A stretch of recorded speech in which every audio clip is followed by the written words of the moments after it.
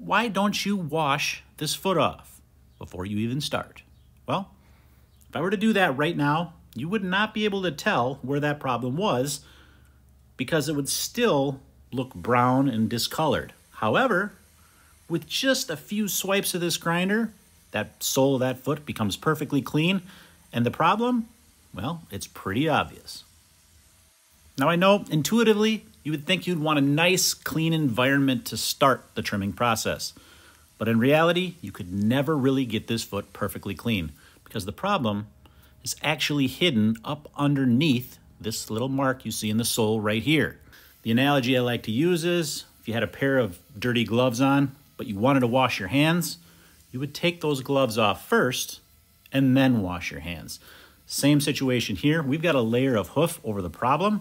We need to take that away, and then we can thoroughly clean the issue that's underneath that.